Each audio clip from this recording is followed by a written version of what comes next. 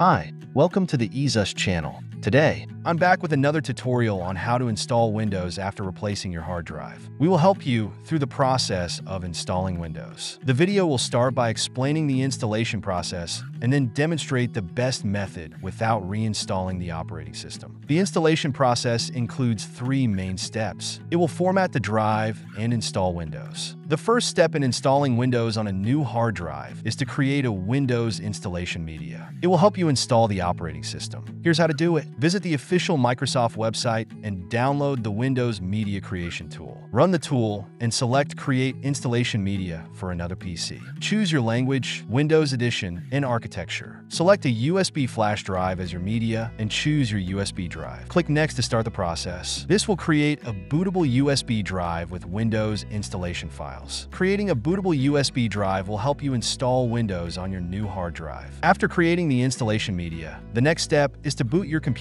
from the USB drive. Here's how to do it. Insert the bootable USB drive into your computer. Restart your computer and enter the BIOS slash UEFI settings during startup. In the BIOS slash UEFI menu, Go to the boot menu and set the USB drive as the first boot device. Save the changes and exit the BIOS. Your computer will now boot from the USB drive. Once your computer boots from the USB, you're ready to start installing Windows on your new hard drive. Now you can install the Windows on the new hard drive. You'll see the Windows setup screen. Select your language, time, and keyboard settings, then click Next. Click Install Now. Select I don't have a product key. Windows will activate itself later. Accept the license terms and click Next. Choose Custom. Install Windows only. Select the unallocated space on your new hard drive and click Next. If there's no unallocated space, delete existing partitions first. Windows will begin installing. This process may take some time. Once the installation is complete, your computer will restart and you'll be guided through the initial Windows setup. The process is complex and requires multiple steps. There are also efficient methods available to replace your hard drive without reinstalling Windows. You can clone your existing drive to the new one using EaseUS Disk Copy. It is our top recommended tool for its ease of use and comprehensive features. Here's how to use it. Visit the official EaseUS website and download the software. Install it on your computer.